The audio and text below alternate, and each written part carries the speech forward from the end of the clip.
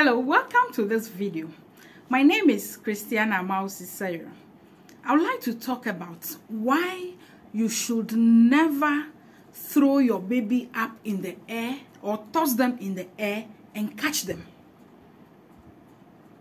The baby could develop head injury or head trauma or a condition that is known as shaken baby syndrome. So, shaken baby syndrome is a type of brain injury which occurs when a baby or an infant or a toddler is shaken violently. So, how does this happen? It commonly occurs in very stressful situations when the baby or the infant, you know, cries a lot and becomes inconsolable. So, you know, in attempt to soothe the baby or to calm the baby, to stop the baby from crying, a tired and a frustrated caregiver or a parent may, you know, handle the baby roughly. And a typical example is throwing the baby up in the air and then catching the baby. That is not good. So, if you throw a baby or if you shake a baby violently, what happens is that it could cause bruising, swelling, and bleeding around the brain of the baby. It could damage the eyes, it could damage the neck, the spine of the baby.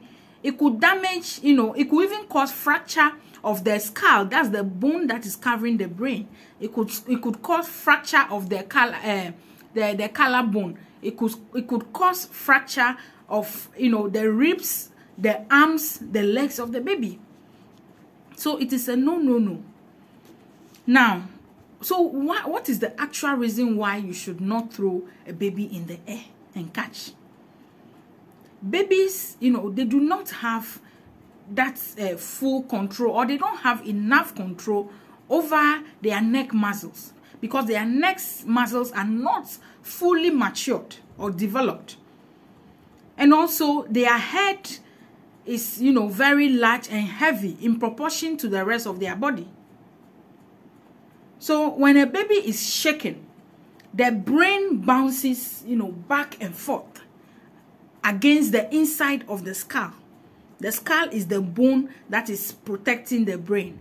So when you shake the baby like that, the brain inside, it bounces like this, back and forth and this will cause you know bruising and bleeding around the brain and then bleeding behind the eyes so it will damage the eyes of the baby.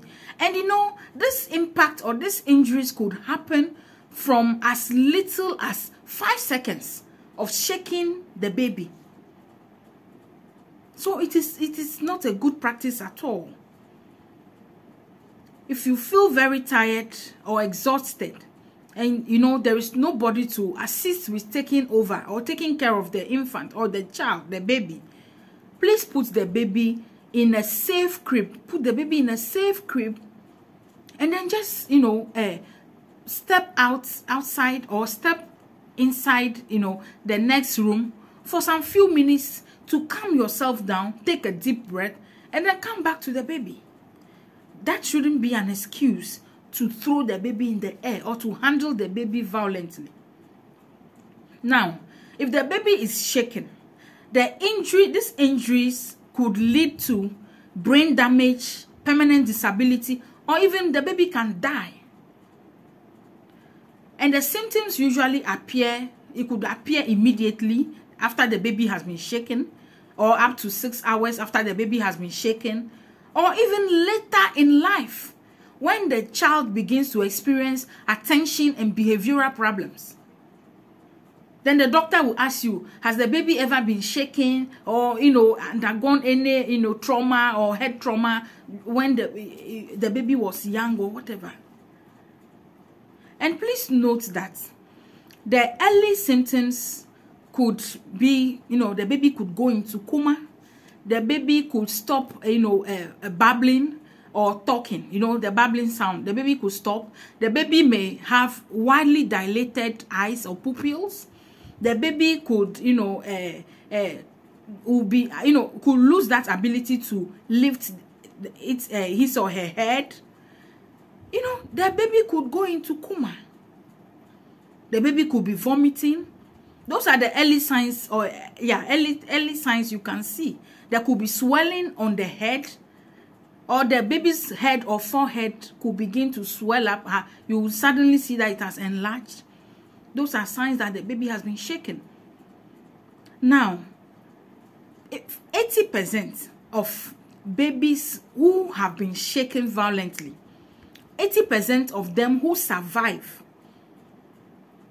later in life develop very serious medical conditions such as uh, cerebral palsy, epilepsy, paralysis, learning uh, disabilities, and so many more. They could also develop seizures, convulsion. So please, do not shake the baby or throw the baby in the air and catch. Even if you want to do it for fun, it is a no-no. And it's important to educate other caregivers, your nannies, those who are helping your relatives, who are helping you take care of the baby. Don't assume they know. Tell them that they should not throw the baby. In fact, I'll make a separate video on other things that you should not do to prevent baby from getting, you know, this kind of head injury or head trauma. Apart from throwing and catching the baby, there are other things that you should not do because they can also lead to the shaking baby syndrome. So, except there will be a separate video on that. So please do not throw baby.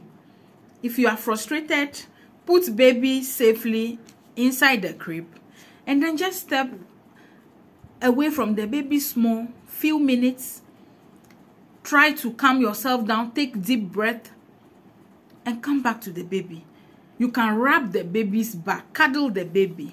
That should suit the baby. If you do all that and baby is clean baby is dry baby is fed and still baby is not coming the baby is still crying. You may seek you know uh, uh, uh, prompt medical care in case there is something happening to your baby. So please the new moms if you try to cuddle your baby you try to sing to the baby you try to talk to the baby you know saying soothing words to the baby and all that. You've checked the uh, baby's diaper everything is dry everything is okay but still baby is crying.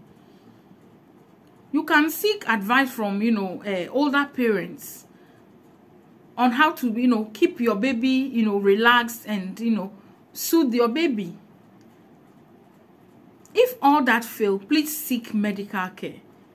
There could be a problem with the baby. You may not know. There could be a medical problem.